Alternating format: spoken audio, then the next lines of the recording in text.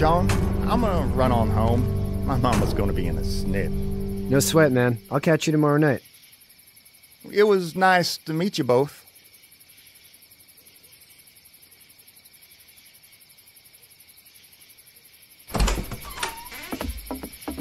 Thank God you're okay. I was worried it'd be bad here, too. Been quiet as usual the past couple days. Old Brecken down the way thinks his mare's gone lame, but that ain't nothing new. I wouldn't have made it back without Chet. Well, I'm glad you took him with you then. You've brought a couple guests. Your boy's a lifesaver. Glad he could be a help to somebody. So it's just you and your daughter then. Oh, not his daughter. He's the babysitter. Honey, do you know this man? Yes. Okay then. Well, looks like you hurt your leg pretty bad there. Uh, yeah, it's not doing so good. I can help you out. Shawn, run on in and check on your sister. You, take a seat up on the porch and I'll go see what I have.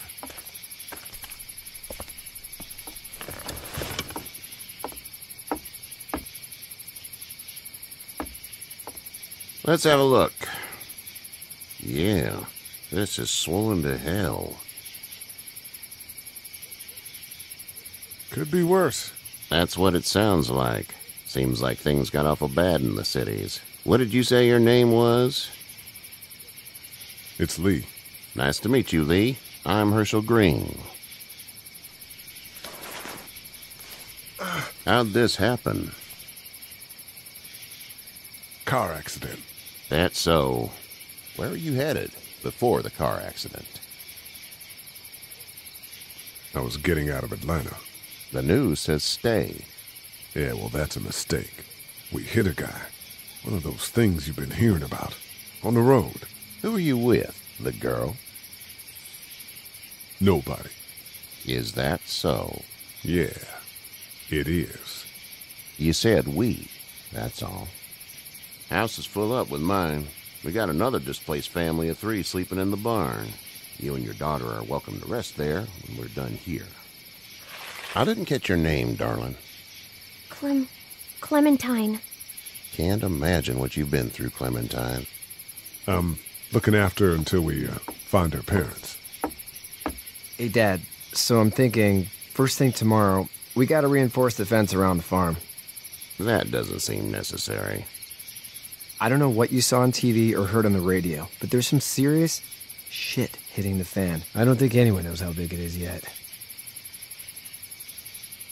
Your son's right. You're gonna want to fortify this place. Stuff like that doesn't happen around here, Shawn. Dad, I'm serious. Lee, come on. Tell him what you saw out there, man. I got chased by a couple of dead people. Well, do what you think you should. We got plenty of chores as it is.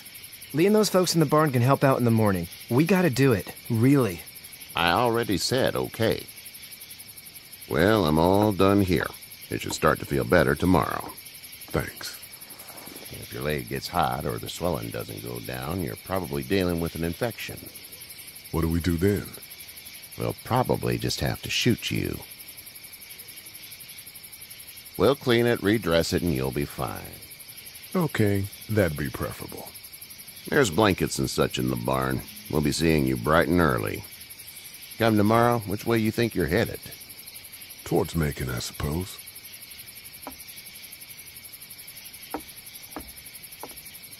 Right then.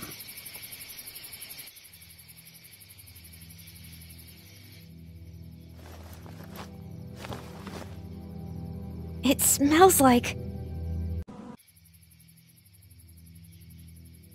Manure. manure? Like when a horse plops? Just like that. I miss my mom and dad. I bet, Clem. How far is Savannah? Pretty far. Oh, okay.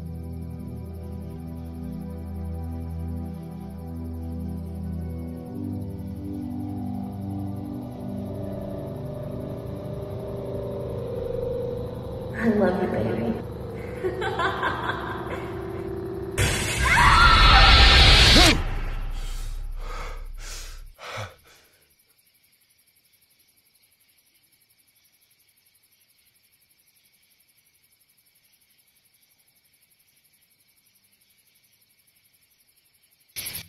Hey, get up. I'm itchy. Well, you slept in a barn, little lady. Lucky you don't have spiders in your hair. but I bet your daddy scared them all away, huh? I'm, uh, not her dad. Name's Lee. I'm Kenny. Dad, we're in the middle of a fence. There's a tractor and everything. We better get going, or we won't hear the end of it. That's my boy, Ken Jr. We call him Duck, though. Doc? Yeah, nothing bothers him.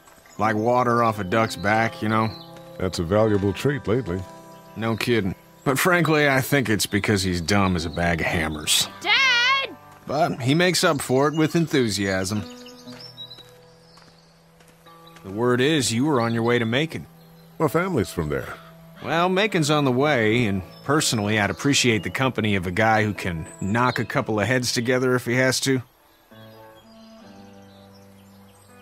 I'll see what the girl would like. Ah, gotta consult the missus. I understand. Honey, Duck, this is Lee. And, uh, what's the girl's name? Clementine. Clementine. That is a very pretty name. Thanks. Well, we should get to work. We've all seen what those things can do out there, so the faster we get this fence up, the better. I want to build a fence. Yeah? Well, I need a good foreman. You can sit on the tractor and yell at me whenever I take a water break. On the tractor? Cool! Duck and I will hop to it. I can keep an eye on your little girl here on the porch. We can visit.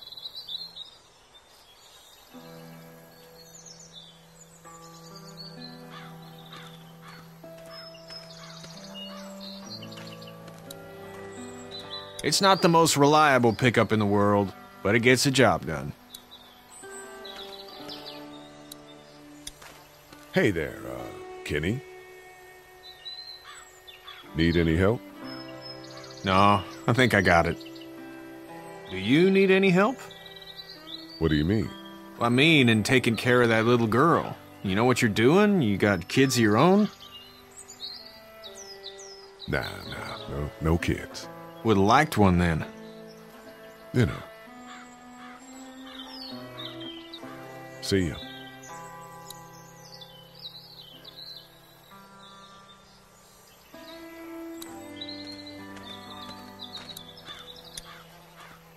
Hey there, girls. You two actually look relaxed. I think we're doing just fine. Clementine was just telling me about first grade. Oh, um, how's that? It's easy. Well, yeah. So, you're good? Anyway, it's almost like we didn't see people eating each other for the past three days. It's peaceful here, no? Back in a bit. Okay, Lee.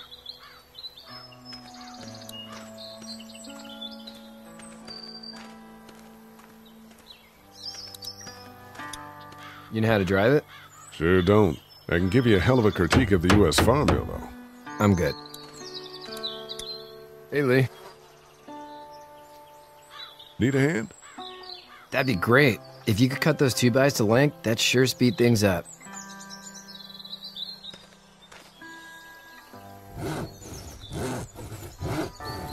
Dad doesn't know how bad it is. No, he doesn't. I saw a guy in Atlanta kill a kid. A boy. Just shot him right in the face. Was the boy one of the walkers? I don't even know. He was either attacking the guy or asking for help. He didn't even hesitate. He just turned, put the barrel of the gun right between the kid's eyes, and pulled the trigger. You don't see things like that. It's not like in the movies. They don't fall like you think. Did you have to do it? Do what? Kill. Have you had to off one yet? Oh, uh. That bastard. Poor girl's brains in. Whoa. I couldn't do that. I'm just glad we're getting this fence built. Dad just wants to keep the family safe and thinks inviting people in is a bigger threat than whatever's out there.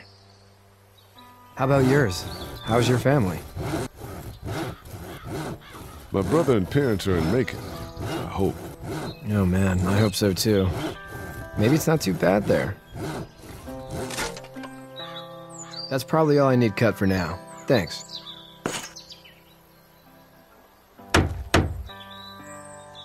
And Shawn, thanks again for the ride. No problem, Lee. Couldn't leave you behind. Anyway, when you see my dad around, he might want some help in the barn.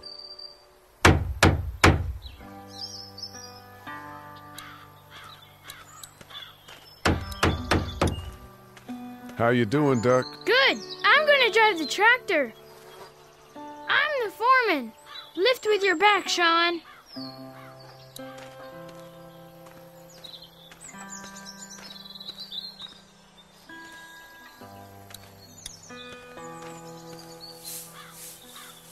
Should know that if you weren't leaving with Kenny today, I wouldn't stand for your lack of honesty last night. I'm not sure I follow. I ain't dumb. I caught you in that lie last night about who you were with in that car. And honestly, I don't even want to know. How'd you get out of Atlanta? I was on my way out anyway. Timing of all this just happened to be right. Huh, if there ever is a good time for the supposed apocalypse. This farm's a nice plot of land. Huh. Had you told me 20 years ago I'd still be doing this, I would have told you that you were full of crap. Never was a plan, having a place like this. It was in the family, and I guess so was I. Family's important. It's all that matters. You agree with that? Was brought up to, yes. Where's your family now? Parents? Wife? Girlfriend? My parents are in Macon with my brother. Well, I hope they're all right. But now you've got this little girl to take care of. Clementine, is it? You just stumbled up on her? What are you getting at? Hmm. Can I give you a piece of advice? Sure. I don't know who you are or what you did, but you better become a better liar and fast. Let's say things don't get better back in the cities, or they get worse before they do. You're going to have to depend on the honesty of strangers if you're going to make it. And if those same people get to questioning yours, you're going to be in trouble. So whoever you are and whatever you did, keep it to your damn self. But at least you have the common sense to listen to a man giving you advice. Go! I'll get my gun!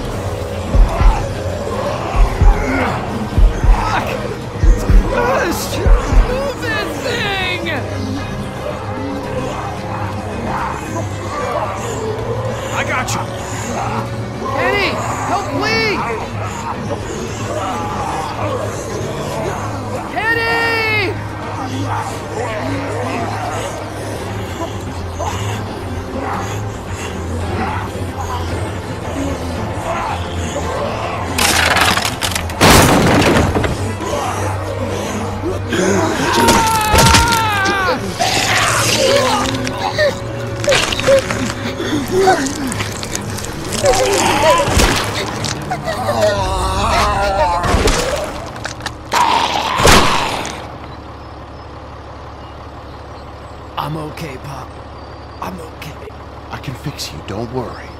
We'll stitch you up. It almost... It almost got me, man. It... Lee tried to save me. I know, son. I...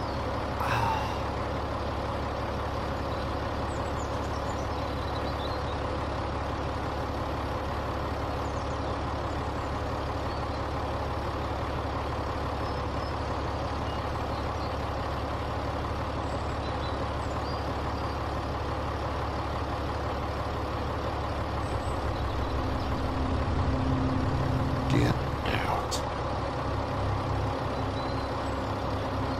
Get the fuck out of here! I'm sorry. Sorry? Your son is alive. You don't get to be sorry.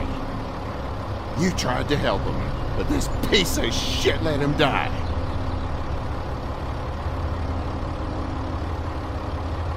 You can't blame Kenny. The hell I can't. You watch your back. We can kill us your daughter, and you need his help. Please. Just go. Get out and never come back.